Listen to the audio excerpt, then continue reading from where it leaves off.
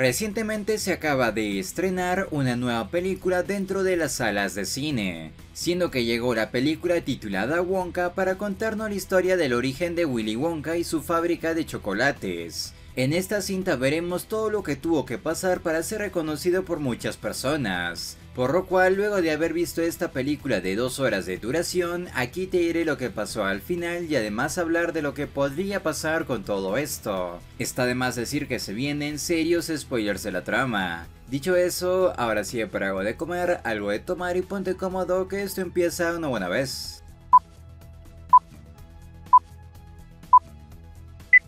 Primero recordemos lo que pasó al final de esta película para luego ver qué pasó en el desenlace y además hablar de momentos importantes de la historia. Como recordarán en los minutos finales, Wonka logra demostrar que los tres grandes chocolateros han estado cometiendo actos ilícitos usando una gran cantidad de chocolate. La policía se lleva a estos tres tipos y Wonka se queda con su tienda para abrirlo junto con sus amigos. Ya luego de esto, Willy habla con su amiga y le dice que su mamá sigue con vida y saben dónde está. Así que rápidamente van al encuentro y la niña se pone bastante feliz. Ya luego de esto, Wonka se dirige a otro lado junto a Lumpa Lumpa y toma la decisión de crear una gran fábrica de chocolates para dar rienda suelta a toda su imaginación. Y con él cantando lleno de felicidad se termina la película titulada Wonka. Pero tenemos unas pequeñas escenas durante los créditos, de eso hablaré en unos segundos más. Con esto mencionado y recordado, ahora sí pasemos a ver qué pasa al final de esta cinta y además hablar de momentos importantes de la historia. Primero de arranque, hablemos de la principal motivación que tiene Willy Wonka para crear unos grandiosos chocolates. Su mayor inspiración o motivación vendría a ser un recuerdo que tiene con su mamá cuando era más pequeño.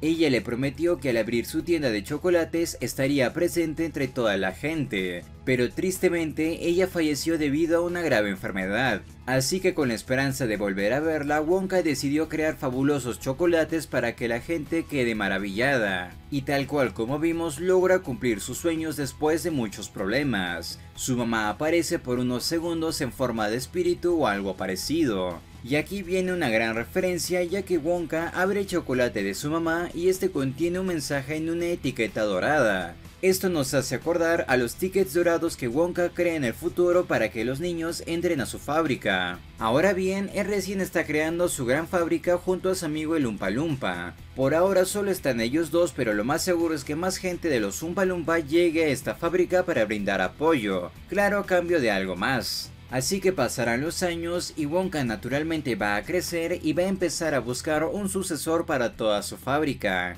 En el caso de los demás personajes pues vemos qué pasa con todos ellos durante los créditos. Todos tuvieron una buena vida, se podría decir que obtuvieron su final feliz, pero eso no quita que en un futuro regresen para nuevas aventuras junto a Willy Wonka, puesto que pueden crear más historias a partir de esta cinta, quizás crear su propio universo.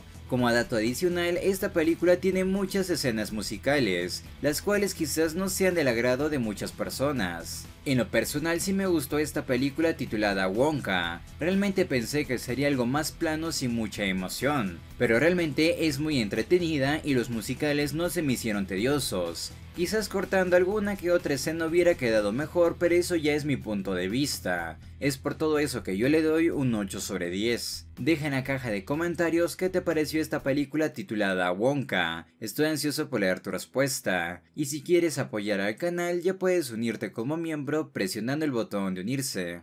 Ya finalizando con el video, no olvides dejar tu like si te gustó este contenido, suscribirte si aún no lo estás para que te enteres de nueva información de películas o series de momento, también alguno que otro anime, y si deseas comparte este contenido para que pueda llegar a más personas. Dicho eso, ahora sí me despido y nos vemos en otra ocasión.